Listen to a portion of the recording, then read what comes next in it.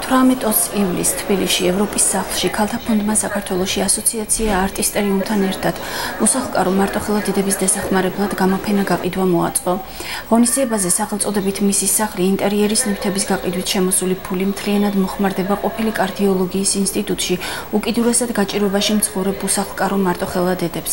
ისინი თავიანთ მცირეწლოვან შვილებთან ერთად მუდმივად გამოსახლების შიშის ქვეშ ცხოვრობენ. ყოფილი მერვე სამართლო შენობაში ვართ შეჭრილები.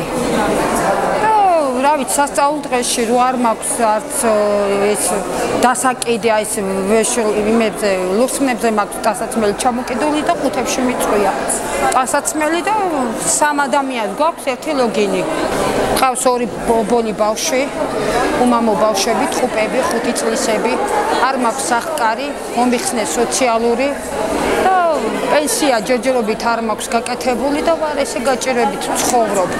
მე მაქვს თვალის ბადური და შლა მეორე ჯგუფის ინვალიდი ვარ მე თვითონ. და ესესაც ცუდავად ვდი ბავშვებს. აი დედიკომ შეაყოვე თუჩი დედიკო რაღაცა მინდა რაღაცა მინდა საქართველოს მთავრობის მიერ 2010 წლის 24 აპრილს მიღებულ ნომერ 126 დადგენილებაში 2013 წლის 17 მაისს სიღატაკის დონის შემცირების მიზნით ცვლილებები შევიდა, რომლის მიხედვითაც უკიდურეს გაჭირვებაში მყოფი და უსახლკაროდ დარჩენილი პირების განაცხადი მონაცემთა ბაზაში რეგისტრაციისათვის არ მიიღება, თუ მაძიებელი უკანონოდ იმყოფება სახელმწიფო საკუთრებაში არსებულ შენობაში. ამგვარი გადაწყვეტილების შედეგად უსახლკარო ქალები და მათი შვილები მინიმალური საარსებო შემწეობის გარეშე დარჩნენ.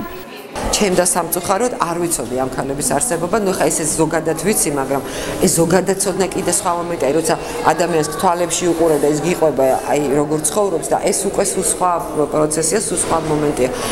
და აი თვითონ საზოგადოებამ გაიგოს ამ მათი არსებობის შესახებ. მე შეიძლება ბევრი ვერაფერი დავეხმარო, იმიტომ რომ აი ნუ რა ჩემ ხო ხტებით ახლა ჩვენ ამაში მონაწილეობთ არტისტერიუმი და მაგრამ თუ საზოგადოებას ეცოდინება მათი არსებობა და კიდე ბევრი სხვა ადამიანის რომელიც არ აქვს შევა კაცია, ხალია, ბავშვია, ძალიან ცუდ პირობებში ცხოვრობს, ალბათ მე ამას რაღაც რეაქცია მოყვება სახელმწიფოს მხრიდან. სასიამოვნოა, როცა ადამიანები ერთმანეთს ეხმარებიან და რო არა ვიწყდები და ისე ამ რთულ ცხოვრებაში კიდე რომ არსებობენ ადამიანები, ვისაც შეუძლიათ რაღაცა გაიგო გაჭირებული ადამიანებისთვის. ექსპონატების დათვალიერება და ყიდვა სამი დღის განმავლობაში იყო შესაძლებელი ევროპის სახლის საგამოფენო დარბაზში. დიზაინერებმა ულამაზესი ნივთები გამოფინეს საკუთარი კოლექციებიდან, ასევე საკუთარი ნივთების შემომწირველები გახდნენ მხატვრები, მუსიკოსები, კინომცოდნეები, ჟურნალისტები და ქოლმოქმედი ადამიანები.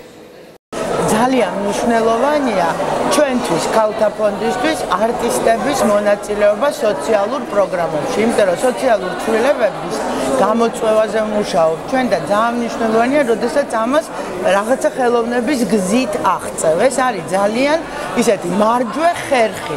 გარდა ამისა, თვითონ მხატვრებისთვის, ხელოვანებისთვის, არტისტებისთვისაც ძალიან კარგია, როდესაც სოციალურ პროექტებში ისინი ერთვებიან, სენსიტიურები არიან თავისთავად და ძალიან გულთან ახლოს მიაყვთ ეს სოციალური პრობლემა. ასე ნელ-ნელა მგონია, რომ ჩვენ ჩვენი წვლილი შეგვაქვს ფილანთროპიის კულტურის დანერგვაში.